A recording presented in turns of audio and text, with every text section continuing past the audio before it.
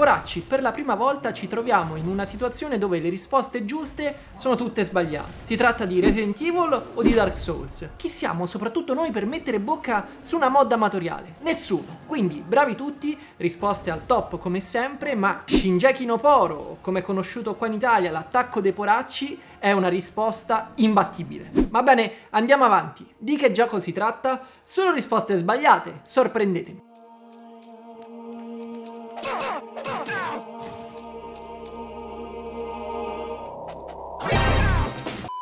Poracci bentornati o benvenuti su TG Poro, l'unico format di YouTube Italia dove si parla di videogiochi, anche di quelli che costano meno di 80 euro. Quella di oggi sarà una puntata ricchissima, piena di notizie al volo e di voli che faranno notizia. Dunque, banda alle ciance, ma prima di iniziare, come al solito, vi invito a mettervi in marcia verso la conquista non violenta di internet.poro e la fondazione del Poroverso. Lasciate un like, iscrivetevi al canale attivando la campanella delle porotifiche e seguitemi su tutti gli altri social. I link li trovate in descrizione. Bene, ho detto tutto, iniziamo!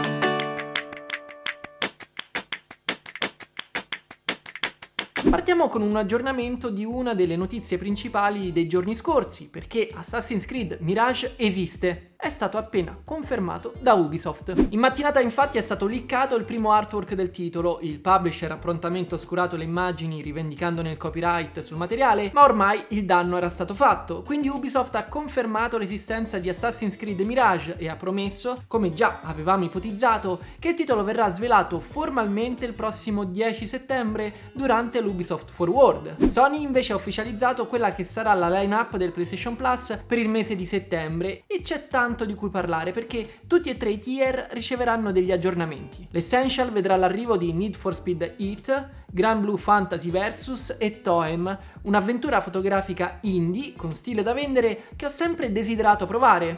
L'inclusione la trovo perfetta. Nel tier intermedio invece vediamo l'arrivo di parecchi nomi, tra cui vale assolutamente la pena citare Deathloop, Watch Dogs 2, Scott Pilgrim e Rayman Legends, platform spettacolari. Mentre l'offerta retro per me è ancora quella più deludente, perché si potrebbe fare molto, molto di più. Ottima l'aggiunta della Sly Collection e di ladri nel tempo, ma trattandosi di giochi PS3 saranno disponibili solo in cloud. Il resto purtroppo sono nomi sicuramente di minore impatto. Comunque direi che si tratta di un mese bello corposo, non trovate? Intanto però Microsoft risponde con una bomba atomica che mette in luce la disparità dell'offerta tra il Plus e il Game Pass. Phil Spencer sul sito ufficiale di Microsoft ha infatti comunicato quali sono le intenzioni dell'azienda una volta che l'acquisto di Activision Blizzard verrà finalizzato e c'è in particolare un passaggio che sta suscitando parecchio scalpore e voglio citarvelo testualmente. Abbiamo intenzione di rendere la molto amata libreria di titoli Activision Blizzard, che include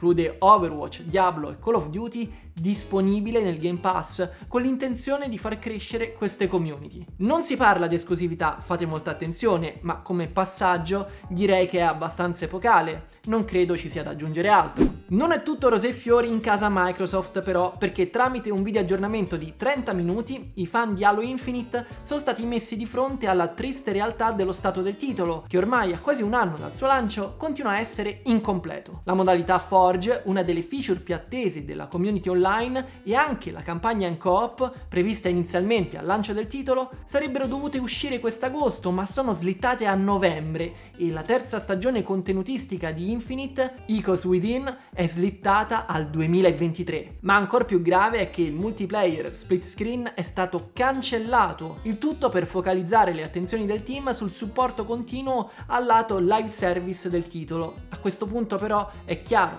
purtroppo, quanto 343 Industries non sia stato in grado di gestire un'operazione così complessa e fondamentale per l'ecosistema Xbox, un'occasione sprecata. Invece si mette molto bene per Sonic Frontiers, o almeno questo è quello che vuole farci credere Sega. Il publisher continua a credere ciecamente nel progetto. Takashi Izuka ha addirittura dichiarato che il 2022 sarà l'anno più grande di sempre per Sonic e intanto è stato pubblicato un video con le reazioni del pubblico entusiastiche, totalmente spontanee alla demo del gioco della Gamescom 2022. Un video un pochino cringe e io non so più che dire, comunque continuo a essere incomprensibilmente ottimista per questo nuovo Sonic in 3D. E voi? Va bene, passiamo al motivo per cui tutti quanti siete qui, il direct di settembre. Ne abbiamo già parlato nello shorts di prima, ma adesso vorrei dedicare uno spazio un po' più corposo a quello che sembra essere lo scenario più credibile, sia per i nomi che sono coinvolti in questo rumor, ma anche per la verosimiglianza di quello che viene promesso. Ancora una volta è Jeff Grubb ad animare le speranze dell'utenza Nintendo. Durante il suo ultimo podcast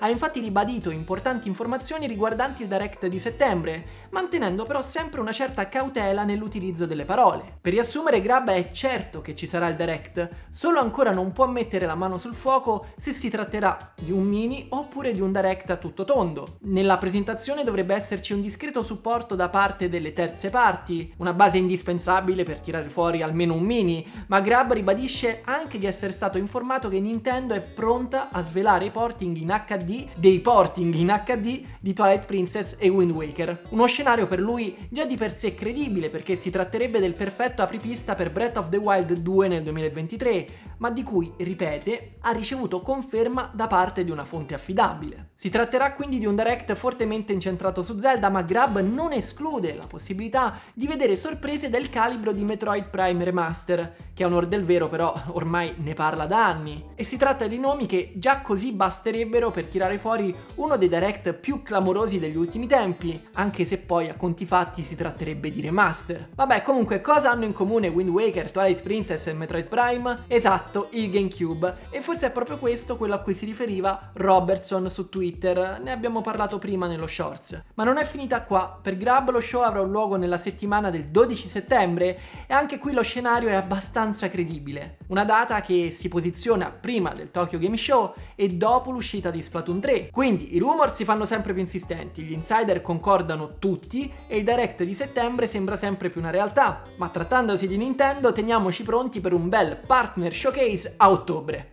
Olè! Ah, e domani faremo un bel sondaggione per vedere cosa ne pensate su questo direct, ma intanto vi aspetto nei commenti per sapere se la visione di Grab vi convince o meno. E chiudiamo riprendendo un'altra notizia di cui abbiamo parlato ieri o comunque negli ultimi giorni, ovvero l'intenzione da parte di Konami di ripescare una serie amata in tutto il mondo. Attenzione perché la situazione inizia a farsi molto interessante. Ieri si parlava di un probabile annuncio minore, niente che avrebbe sconvolto i fan di vecchia data, ma oggi Dusk Golem in Insider con un bello storico di leak, niente male, ha sganciato la bomba. A quanto pare Konami avrebbe intenzione di fare una remaster dei primi tre storici Metal Gear Solid, che ricordiamo in passato hanno già ricevuto il trattamento in HD, ma purtroppo ormai anche queste versioni sono inservibili. Dallo scorso novembre i Metal Gear Solid sono anche spariti dagli store digitali a causa di alcuni problemi di copyright e nonostante la situazione non si sia ancora risolta, Konami ha promesso che prima o poi i titoli torneranno e Dusk Golem è sicuro sicuro al 100%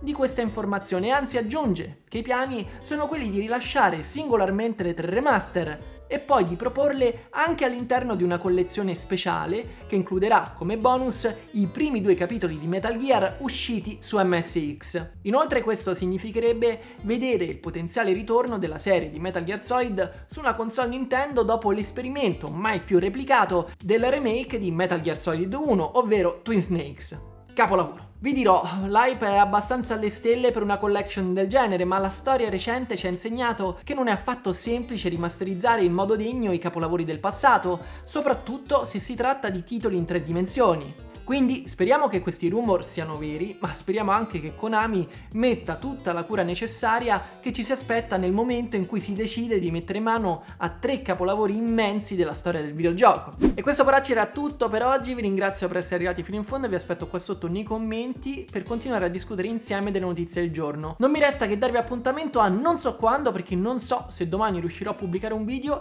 eventualmente proverò a fare qualcosa di speciale qua sul canale. Voi in ogni caso stasera sera sapete cosa fare. Riposatevi, anche domani mattina, riposatevi, fate i bravi sempre, ma soprattutto nerdate duro. Io sono il Poro Metal, Michele Solid. Ciao! Ehi ehi ehi, fermo! Se questo tipo di video ti piace, prendi in considerazione l'idea di supportarmi sul Poreon, il Patreon dei poracci. Con un piccolo contributo mensile mi puoi aiutare enormemente a portare avanti i contenuti qua sul canale e in cambio ricevi anche delle ricompense di tutto rispetto come retroscena, anteprime e anche live esclusive dove andremo a caccia di retro game. Ti lascio il link in descrizione e ricordati che Poracci si diventa!